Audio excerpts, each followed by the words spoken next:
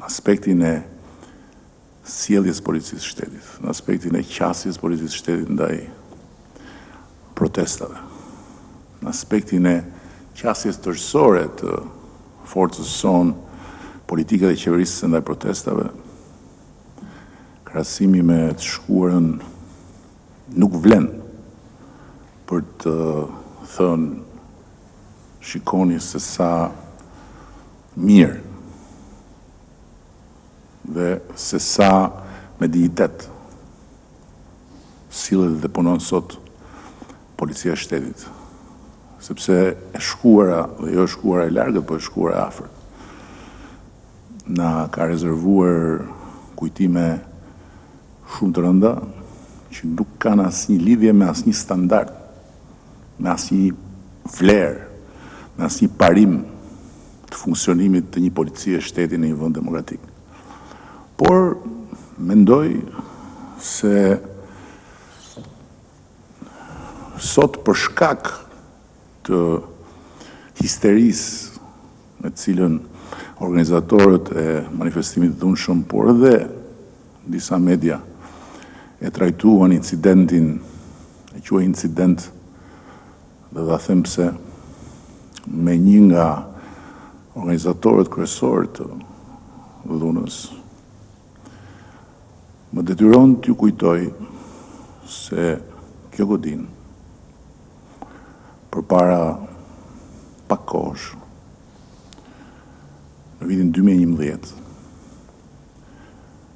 Nuk u qëllua me asnjë guriçkë dhe jo më me bomba e me zjarr.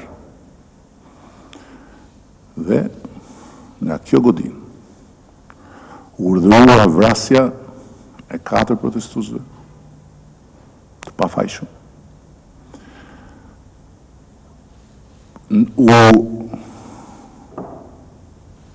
urdhërua shkrehja e karikatorëve të kalashnikovëve mbi protestuesit e paarmatosur, jo me armë, por me asnjë shishe benzine.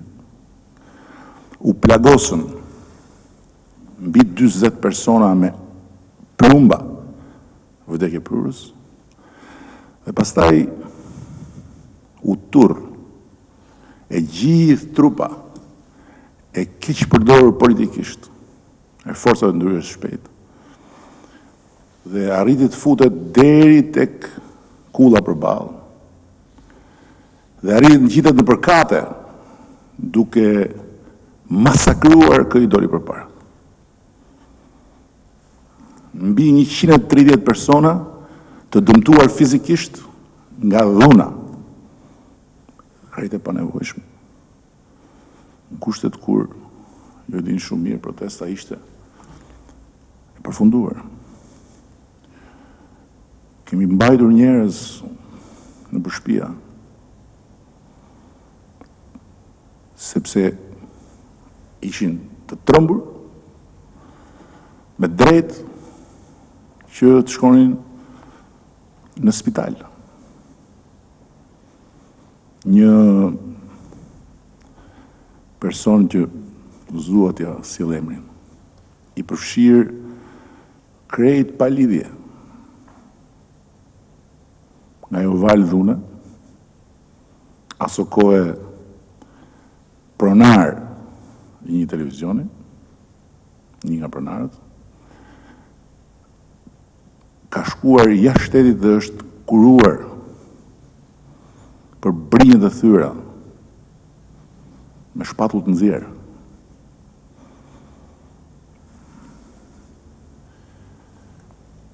Jua kujtoj këto të gjithë shqiptarëve, jo atyre që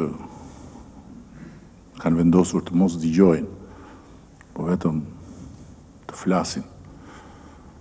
Çfarë u vjen për mbarë në funksion të dhunës? Për arsyen e thjeshtë se po Do të kishte qenë pa diskutim perfeksion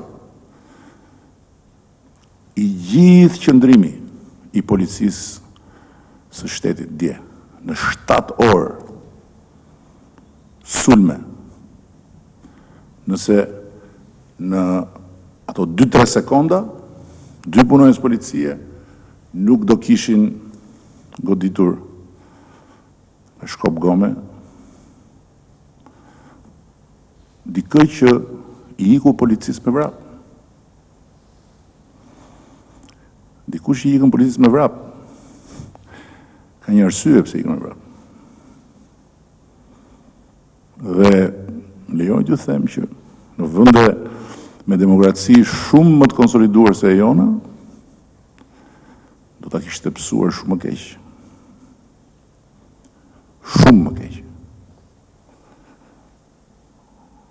Dhe mos harroni që të veprosh në ato kushte. Të jesh nën flakë e nën gur, e nën një presion shtazarak për shtatë orë, duke qenë nën uniformën e policisë shtetit. Nuk është gjëja më e kollajshme dhe nuk janë kushtet më optimale për të pasur qetësi dhe qartësi në çdo moment. Kështu që unë i mirëkuptoj edhe ata të dy punonjës policie, të cilët bënë një veprim të tepërt, pa dyshim, por të tepërt duke gjykuar ne nga ekrani, natyrisht me kollajllëkun që gjykohet një luftë kur e shikon në një film apo një ndeshje kur e shikon në televizor. Ama turp më të madh. Hipokrizi më të madhe.